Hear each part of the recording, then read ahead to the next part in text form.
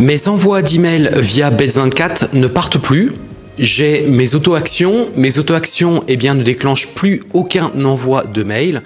J'essaie également d'envoyer directement le mail en manuel depuis Bets24. Ça ne marche pas. On va répondre à cette question aujourd'hui. Salut, c'est Sébastien. Bienvenue sur cette chaîne YouTube. Je te balance le générique et on va voir ensemble concrètement eh bien, comment résoudre cette difficulté. Je te dis à tout de suite.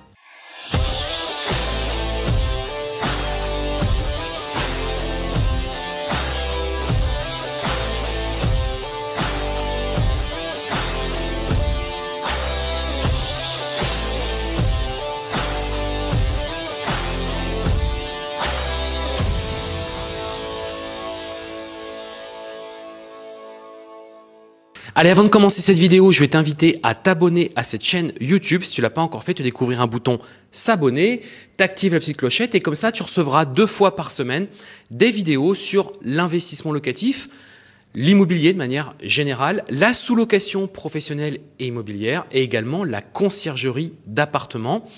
D'ailleurs, si ça t'intéresse, avant de commencer, je vais t'offrir deux formations totalement gratuites sur comment créer un business, comment se lancer dans l'immobilier sans les banques, sans apport ou du moins très faible, avec un retour très rapide. En 30 jours, tu vas pouvoir commencer à gagner de l'argent.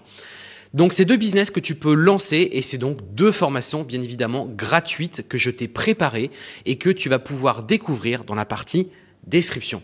Donc aujourd'hui, on va, c'est une vidéo un peu plus technique. C'est une vidéo où on va parler de Bets24. Alors qui est Bets24 Pour rappel, eh bien c'est un channel manager. C'est-à-dire que c'est un outil que je te recommande vivement à utiliser si tu fais de la location courte durée. C'est-à-dire que quand tu vas commencer à avoir plusieurs appartements, eh bien tu vas voir que ce genre d'outil va clairement te faciliter la vie.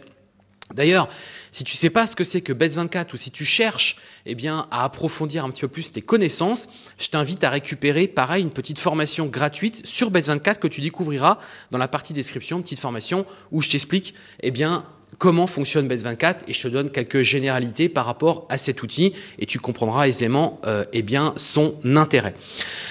Du coup, aujourd'hui, cette vidéo bah, s'adresse particulièrement à ceux qui utilisent déjà Bets24 et qui ont posé cette question et qui me disent bah, Sébastien, j'arrive plus à envoyer mes mails, c'est-à-dire que les mails que j'envoie normalement par Bets24 bah, ne partent plus. Les auto-actions que j'avais pu mettre en place pour envoyer automatiquement les emails, eh bien, ça ne part plus, ça ne marche plus. Alors, on va voir pourquoi hein, dans cette vidéo, mais c'est surtout qu'on va voir comment résoudre ce problème-là de manière précise. Tu vas voir après, on va passer sur mon écran. Alors, on va préciser déjà, cette problématique ne concerne que Gmail. Hein. Aujourd'hui, elle ne concerne que Gmail. Alors pourquoi? Bah, Tout simplement parce que Gmail a fait évoluer son niveau de sécurité par rapport eh bien, à l'accès à la messagerie Gmail. C'est-à-dire que eh bien, Gmail donne la possibilité d'utiliser leur serveur d'envoi de mail, leur, ce qu'on appelle le SMTP. Il donne la possibilité, depuis une application tierce, eh bien, donc d'utiliser euh, tout simplement eh bien, leur SMTP pour faire l'envoi des emails. Mais aujourd'hui, eh bien, Gmail a renforcé sa sécurité. Et donc, ce qui se passe, eh bien, c'est que le paramétrage qu'on pouvait avoir auparavant, d'ailleurs, c'était un paramétrage qui nécessitait hein, quelques minutes quand même de, euh, compréhension, parce que c'était pas forcément très très facile. Du moins pour pour, pour, pour ceux qui sont un peu débutants, c'est pas forcément très facile. C'est pour ça qu'il y a des formations qui existent bien évidemment autour de ça, pour justement vous expliquer à faire ce genre d'opération. Mais là aujourd'hui, ça ne marche plus. Et donc, beaucoup de personnes se sont dit, bah mince, qu'est-ce qui se passe? Est-ce que c'est un problème dans mes auto-actions? Est-ce que j'ai mal paramétré. Non, tout simplement, c'est le niveau de sécurité de Gmail qui a changé. Alors concrètement, et on va passer sur mon écran bien évidemment, on va pas faire que du blabla. Euh, L'idée, si tu veux, c'est que Gmail a activé le principe de la double authentification maintenant. Donc si par exemple sur ta messagerie tu l'avais pas activé, eh bien va falloir l'activer. Mais du coup, qui dit la double authentification dit qu'on renforce la sécurité. Mais ce qui s'est passé, c'est que Gmail a donné la possibilité à une application tierce eh bien, de se connecter, mais euh, finalement via eh bien, un mot de passe, pas provisoire, mais un mot de passe dédié à l'application et qu'on va paramétrer dans le système. Et une fois que c'est paramétré, eh bien, il suffit de refaire son paramétrage sur, sur Bet24 et du coup, tous tes soucis seront euh, résolus. Donc du coup, ce que je te propose, eh c'est qu'on passe tout de suite sur mon écran et puis bah, je te retrouve juste après. Voilà, donc là on se retrouve eh bien sur mon écran.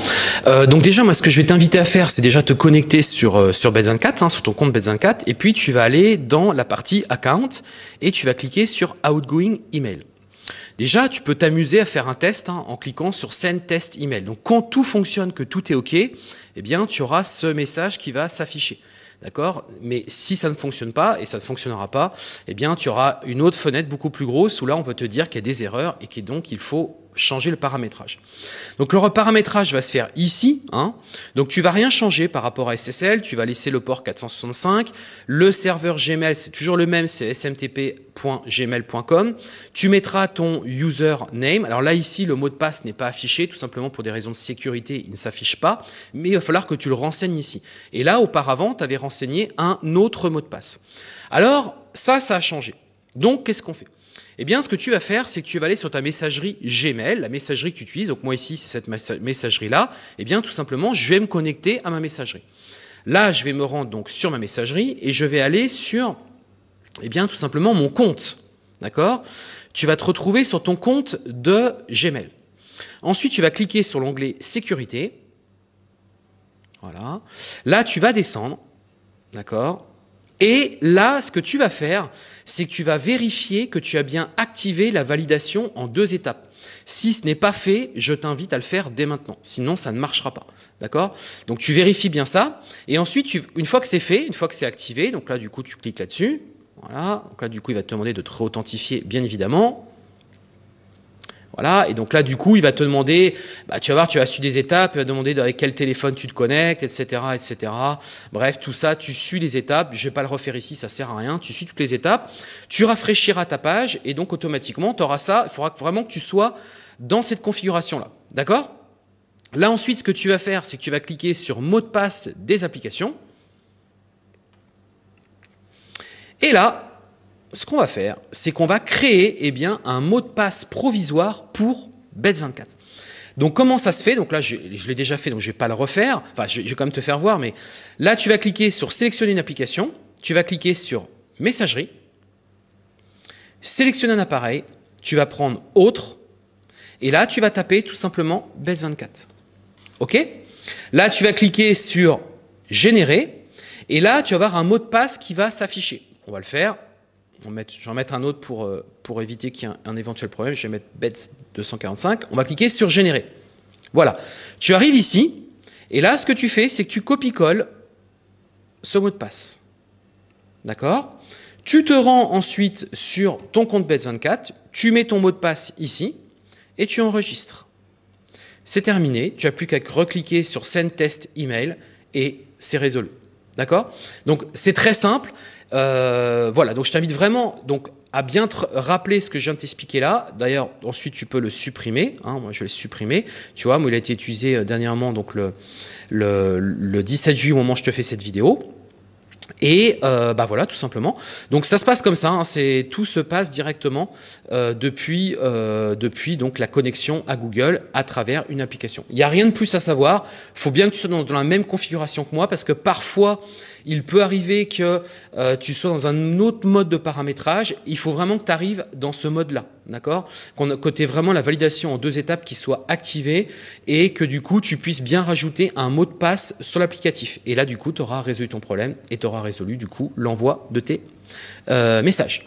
Voilà, du coup, eh bien, j'espère que cette vidéo, elle t'a plu. J'espère qu'elle a pu t'aider à résoudre cette problématique parce que bah, je sais que ça concernait euh, pas mal de personnes qui étaient euh, bah, concernées, qui pensaient même que le problème venait d'ailleurs, alors que non, ça venait très clairement du changement euh, donc du niveau de sécurité de Gmail. Donc Base24 est bien au courant. Et donc, bien évidemment, même d'ailleurs sur leur partie euh, support technique, sur leur partie, euh, comment dirais-je, tout ce qui est réponse à leurs questions, leur FAQ, eh bien, ils ont donné le mode opératoire, mais c'est pas forcément très explicite. donc, du coup, c'est pour ça que cette vidéo, à mon sens, devrait te permettre de résoudre eh bien, ces différents soucis. On a terminé, n'hésite pas à commenter cette vidéo, n'hésite pas à rajouter des informations ou des questions que tu pourras avoir par rapport à cet outil, bien évidemment. Voilà, n'hésite pas aussi à partager cette vidéo, puis n'hésite pas à lâcher le gros pouce bleu, bien évidemment. Si cette vidéo, elle t'a plu et qu'elle a pu résoudre ton problème, bah franchement, j'apprécierais euh, largement ton petit euh, pouce bleu parce que ça me motive à livrer toujours plus de vidéos sur cette chaîne YouTube. Donc voilà, c'est une vidéo très technique, mais tu le sais aussi, hein, je suis un expert en location courte durée et j'essaie de vraiment te livrer toujours un maximum de contenu, un maximum de valeur sur cette chaîne YouTube. On a terminé, vouloir changer de vie c'est bien, on reste ensemble, on enchaîne sur une prochaine vidéo et je te dis à très bientôt.